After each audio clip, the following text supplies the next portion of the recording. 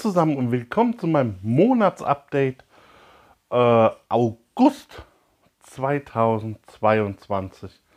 Und ähm, ich bin hier eben durch die Wohnung gegangen und habe mein Update gesucht.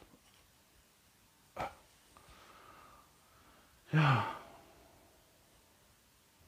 Und es ist so, dass ich immer noch gucke. Es sieht nämlich extrem wenig aus, aber es wird es wirklich alles gewesen sein. Oh, oh, hm. Naja, dann ist es eben so, gell? ja, es ist echt nicht viel geworden. Ähm, aber voran schon mal.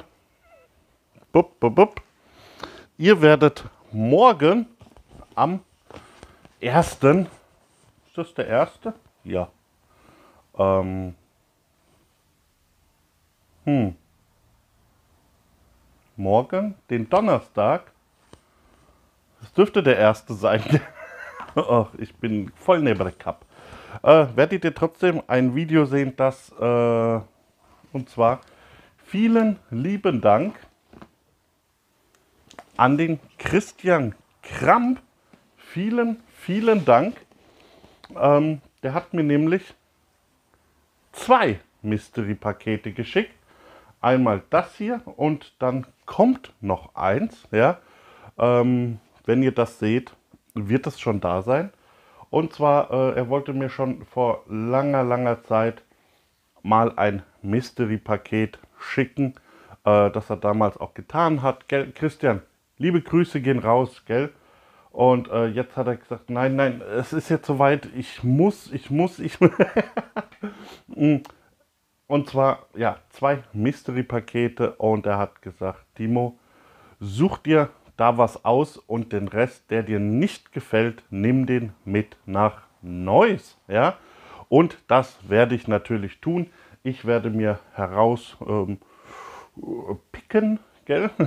was mir so äh, zusagt und den Rest, der kommt alles mit nach Neuss.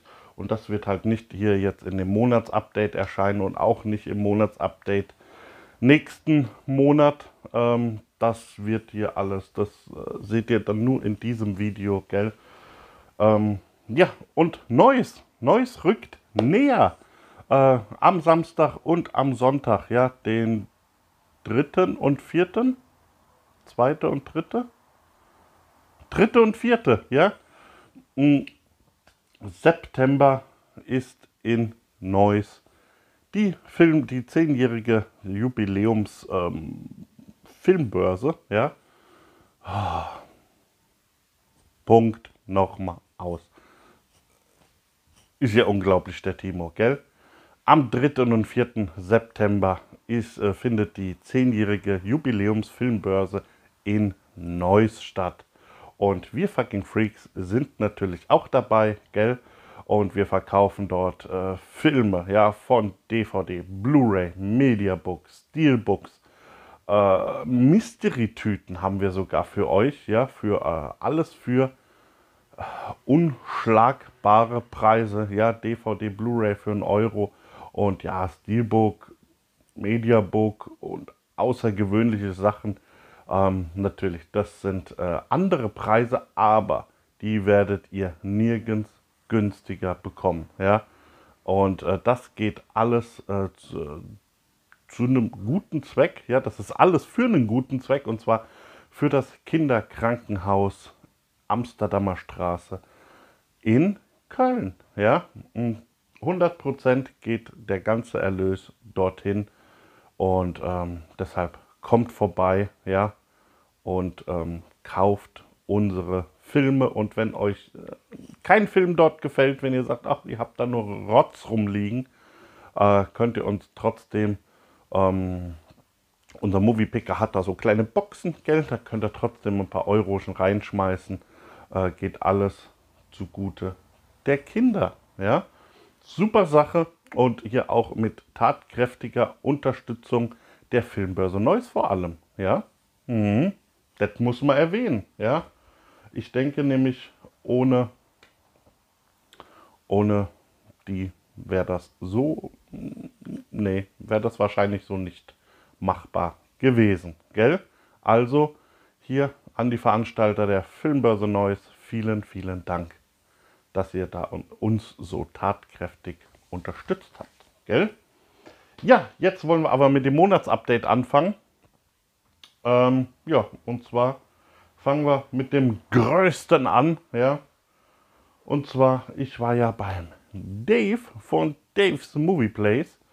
Mhm, war ich ja in meinem Urlaub gewesen und ähm, ja, er hat ja äh, mir auch ein kleines Mystery-Paket geschnürt gehabt und ich hatte mir dort was ausgesucht und ja, das war, weil er doch so viele Hardboxen da irgendwie angeboten hat, hatte ich mir ja Rossa Venezia hier in dieser riesigen Hardbox mm, gekau äh, gekauft, äh, ausgesucht. Und ja, das da hinten zeige ich jetzt nicht. Ein Haufen. Hm,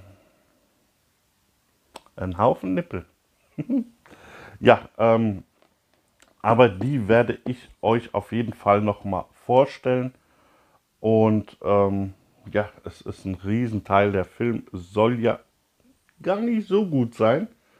Äh, der soll sogar Schrott sein, aber ich habe ihn tatsächlich noch nicht gesehen und ähm, ja, werde mir da selber mal ein Bild machen, obwohl ich mir halt schon vorstellen kann, äh, weil hier ja mehrere Fassungen drauf sind. Hier ist die Full Uncut Export Version drauf mit 155 Minuten.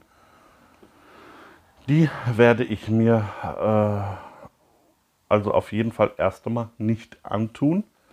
Dann ist hier Porno a Venezia drauf, die Hardcore-Version für den deutschen Verkaufsmarkt. Die dau dauert nur 61 Minuten. Äh, das ist Fullscreen 16 mm Version, No Speak. Okay. Und dann, was haben wir hier noch? War das nicht vier Fassungen? weiß nicht. Auf jeden, auf jeden Fall haben wir hier noch die German Jallo Version. Ja, das ist die äh, Soft, Soft, Soft Erotik, Soft Porno Version. Die dauert 107 Minuten und die werde ich mir auf jeden Fall angucken, weil ich habe immer wieder gemerkt, so ähm, dass Hardcore-Szenen, äh, eigentlich bin ich ja ein Fan davon, wenn man dann in einem harten Film dann auch alles sieht, gell? Aber das wird, ah, die Filme, die ich gesehen habe, da wurde das nicht so gut umgesetzt, so zum Beispiel wie in Gutterballs, ja, da ist das überhaupt nicht gut umgesetzt worden oder in Porno Holocaust. Das war auch nicht meins, ja, und deshalb denke ich, dass das hier auch nicht so meins ist. Und deshalb gucke ich mir die Jallo-Version an, diese Soft-Core, Soft, Soft-Erotik-Variante, gell? Und äh, dann packe ich das Ding für euch auch aus und dann gucken wir es uns an und dann hört er auch meine Meinung dazu. Dann hat er mir eingepackt Blackout, The Blackout, ein russischer äh, Film, russische Antwort auf Blade Runner 2049 und Resident Evil. 154 Minuten das Ganze. Äh, wollte ich auch schon öfter mal sehen. Ich habe da mal einen Trailer gesehen, der war gar nicht mal so schlecht. David, danke dafür. Und dann, ach, da hinten hat er mir noch eine Neka-Figur reingelegt, gell? Vom, oh, wie heißt das Vieh schon wieder? Vom Faun, ja. Ich will nämlich immer der, der, der, der, der, der, der, der, Pale, Pale Man will ich immer sagen, aber das ist der ja gar nicht, gell? Aber muss ich auch sagen, schönes Ding, findet auf jeden Fall Platz. Danke, David, dafür. So, dann, ähm, was gehen wir jetzt durch? Äh, wir gehen die Mediabooks durch und dann die Emirates, denn die Mediabooks werdet ihr alle schon irgendwie mal gesehen haben. Und zwar haben wir hier Sinbad Herr der sieben Meere. Mhm, gell? Äh, schöner Film, schöner, schöner Film. Hier von Wicked Vision das Ganze. und ein Haufen Bonuszeug, was da alles noch dabei war. Ähm, richtig, richtig gut, gell? Sehr schöner Film. Dann haben wir hier von Cape Light. Ist das von Cape Light? Ja, genau, war von Cape Light. Und zwar Phase 4, der Ameisen-Horrorfilm. Naja, Horror mehr oder weniger, aber es ist schon ein kleiner Tierhorrorfilmchen mit Ameisen, ja, und nicht mit Riesenameisen, sondern wirklich mit Ameisen, ja. Auch ein schönes Filmchen, gell, hat mir auch gut gefallen. So, dann haben wir hier Berserker, The Nordic Curse. Ähm, da sind ja jetzt alle möglichen äh, B, C und D Varianten rausgekommen. Ne, die kommen, glaube ich, noch, gell? Ähm, und ich habe hier die Cover A-Variante. Reicht völlig. Ja, Bild ist schön. Ähm, und alles und Film hat mir auch gefallen. Also, und das für 12 Euro. Noch nicht mal 12 Euro. Super Kurs, gell? Schönes Teil. Naja, bis auf. Naja, das Mediabook selbst ist halt so. Also, der Buchanteil ist halt wirklich nur das Notwendigste, ja. Und dann ein Film, den ich jetzt äh, oh, endlich in der Sammlung.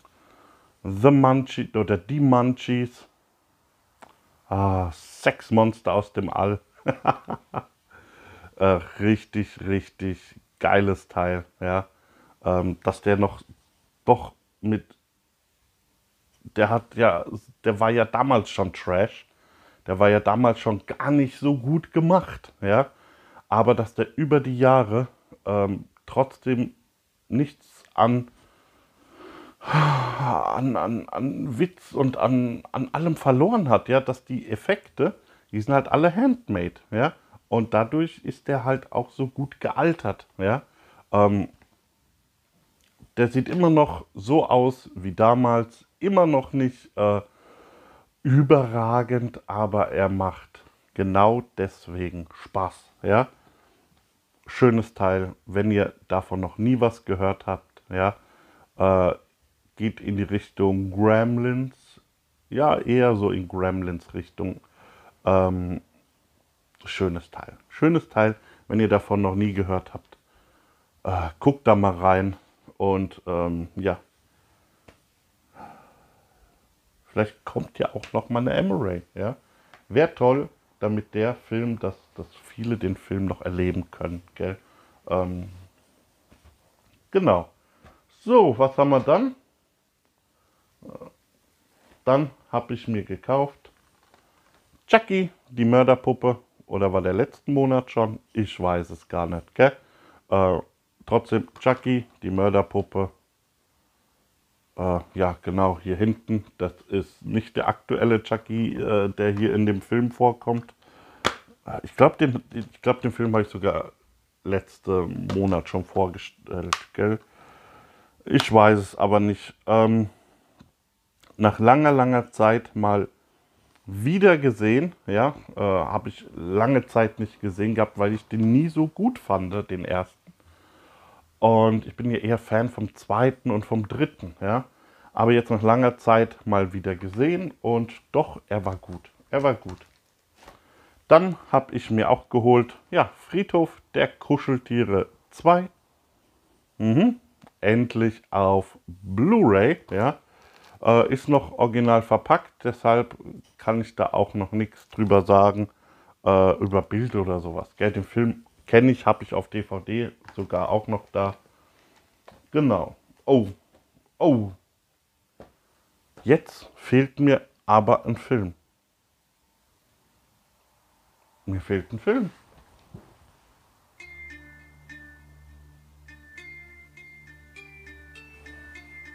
Habe ich den schon einsortiert?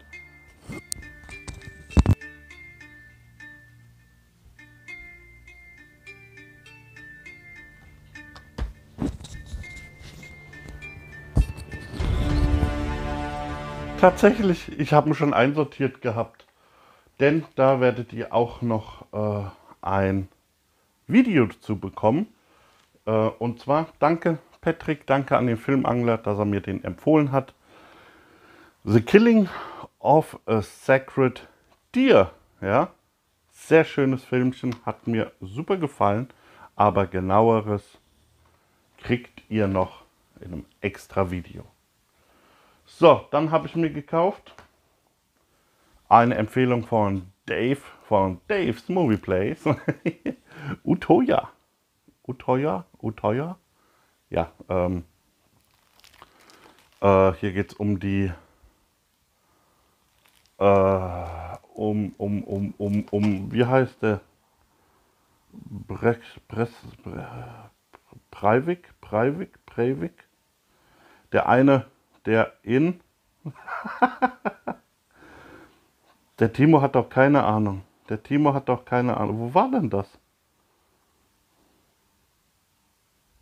Wo war denn? Das steht aber hier auch nirgends. Norwegen. Da wo der Herr äh, Breivik, Breivik, ich weiß gar nicht genau, wie der heißt, äh, auf die Insel Utoya ist in Nor Norwegen und ein äh, Camp voller Kinder, war das so ein, so ein Feriencamp, glaube ich, ähm, wo der da rumgelaufen ist und da alle ja, erschossen hat, ja. Mm, oder fast alle wenigstens, ich weiß es auch nicht. Und darum geht es aber in Drama, also ohne Action, ja. Ähm, mal gucken, gell? Und hier auch, das war, glaube ich, auch vom, oh, ich glaube auch vom Angler eine Empfehlung, ich weiß es gar nicht mehr. Anonymous Animals, ja, und hier soll es wohl darum gehen, dass äh, hier ähm, die Rollen vertauscht werden zwischen den Menschen und den Tieren, ja. Also wie man hier schon sieht, hier ist ein Hirsch mit dem Gewehr, der Hirsch jagt äh, Schweine schlachten die Menschen und irgend so Sachen, gell? Ähm, alles, also wie ihr seht, real, nicht irgendwie animiert oder sonst was, gell? Ähm, keine Sprache, steht auch hier hinten drauf, Sprachen ohne Dialoge und 64 Minuten dauert das Ganze. Ich bin mal gespannt, ja, ähm, trotz 18er soll er doch äh, keine äh, drastische Gewalt haben, aber mal abwarten, gell? Und jetzt kommen wir auch schon zum Schluss. Ja, das ist so. Ah, das letzte. Und zwar äh, hatte Amazon ein Angebot.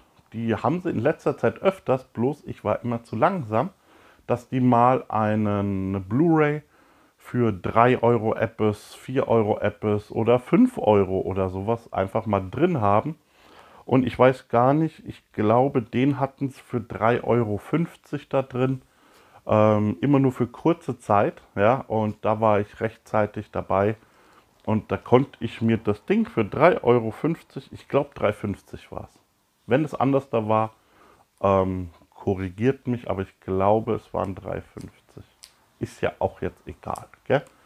Und zwar John Carpenters Vampire. Hier äh, auch extra uncut, gell? Der ist hier runtergestuft worden. Ja, John Carpenters Vampire. Und da habe ich den auch mal in der Sammlung. Habe ich noch nie in der Sammlung gehabt. Ähm, denn ich muss sagen, ich habe den damals äh, von der Videothek ausgeliehen gehabt, fand den ganz, ganz gut. Ja. Und dann habe ich ihn, glaube ich, noch zwei oder dreimal mit Freunden geguckt und dann wurde er immer schlechter. Ja. Äh, immer noch gut, aber nicht so gut, dass ich mir den dann kaufen musste. Ja. Und jetzt war der so günstig da und jetzt ist es auch schon lange, lange her. Ja, das letzte Mal wirklich in der Videothek. Ich, boah, das ist ewig her. Und ähm, das war zu VÖ. Das war da zu VÖ. Das ist jetzt auch bestimmt. Ich weiß es nicht. Steht es da? 98. Der Film ist von 98. Ist ja über 20 Jahre schon her, hey. Boah, der wird schon so alt.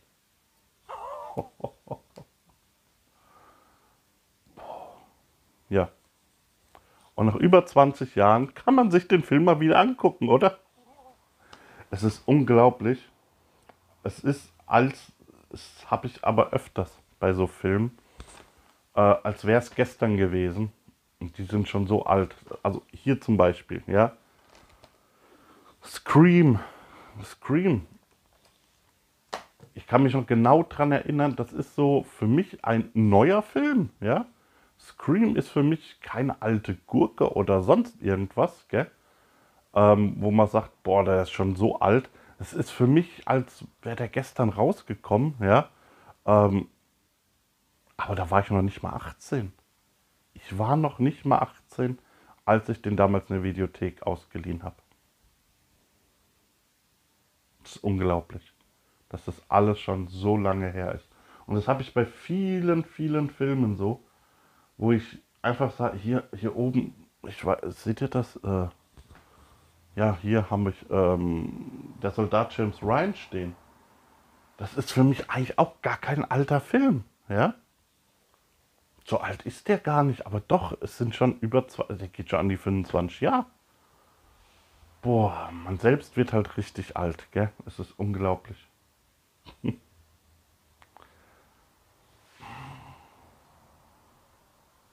Da sind so viele Filme, ja, wo ich mir sage, so alt ist der Film gar nicht, aber wo schon ewig alt ist. Braveheart, da unten sehe ich auch gerade. Braveheart ist von 95, glaube ich. Da merkt man erstmal, wie alt man wird. Ja. Avatar. Da muss ich jetzt auch mal. Nee, das steht das hier drauf. Ich habe das gar nicht im Kopf. Avatar von 2000, kann das sein? Ich sehe das gerade ganz schlecht. Nee, 2009.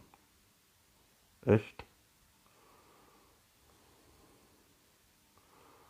Ja, trotzdem, ja. Avatar ist für mich so was richtig Neues, ja, was äh, Aktuelles, ja. Ich, wie ihr da draußen, ich habe jeden Tag mit Filmen zu tun. Ich informiere mich, ich mache, ich tue und gucke und sammle und aber äh, ich persönlich hinke immer noch komplett hinterher. Ähm, vielleicht, weil man sich halt auch gar nicht in die aktuellen, aktuelle Zeit irgendwie, man möchte gar nicht hier sein, ja. Ähm, was da draußen betrifft und aber auch was filmtechnisch angeht, denn ja, Gutes kommt halt nicht mehr. Also, wenn wir wirklich im Jahr zwei, drei gute Filme kriegen, äh, da können wir schon froh sein. Ja, das ist so meine Meinung. Hm. Ja. Ich kann euch gar keine drei Filme aufzählen, die dieses Jahr gut waren.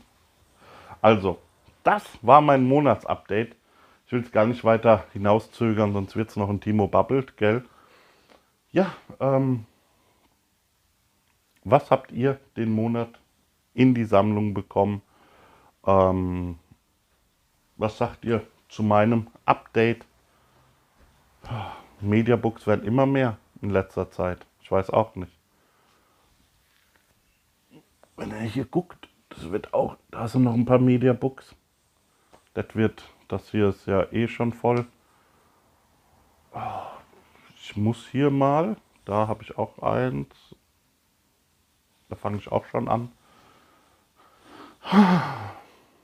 Es geht irgendwie, obwohl ich gar keine Mediabooks sammle, jetzt immer mehr.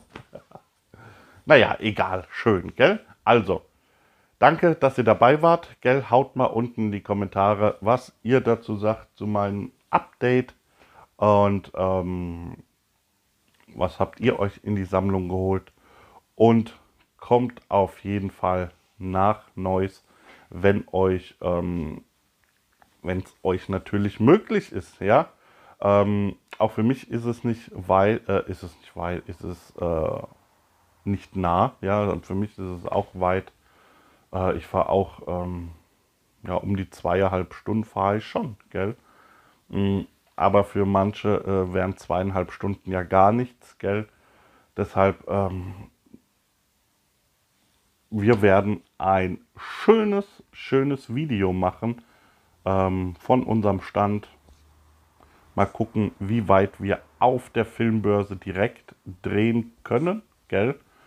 Ähm, aber äh, wir werden euch da ein schönes Video zusammenschnippeln, ja, wir Freaks. Und ähm, damit ihr einen kleinen Eindruck bekommt, wie es dort war, hm, damit ihr auch irgendwie mal äh, dabei sein könnt mit uns, gell? Ja, ansonsten, wer nicht dabei sein kann, schade, schade, schade. Aber es wird ja nicht die letzte Filmbörse sein. Und wir Freaks, wir ähm, werden auch noch weiter auf anderen Filmbörsen sein, nicht nur in Neues, gell? Man wird sich irgendwann mal treffen. Und für alle, die dabei sind, bis Samstag, Sonntag. Ähm, Sonntag weiß ich noch nicht, gell? Aber Samstag bin ich auf jeden Fall da. Und ja. Also, nochmal. Dankeschön und bis zum nächsten Mal. Tschüss, macht's gut, euer Timo.